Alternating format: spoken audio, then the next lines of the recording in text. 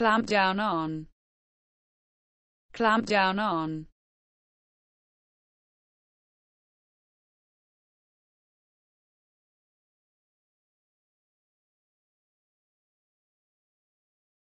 To take measures to stop something, to put an end to.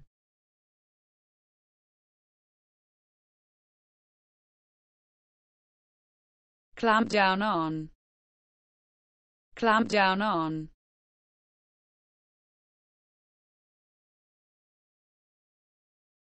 To take measures to stop something, to put an end to.